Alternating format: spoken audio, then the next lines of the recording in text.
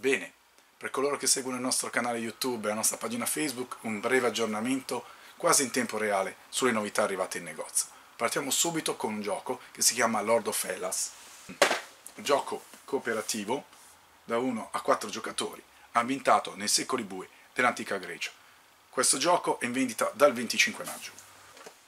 Insieme è arrivata anche la nuova espansione, sono questa Expansion Terran Expansion, sempre per Lords of Hellas, in vendita sempre dal 25 maggio.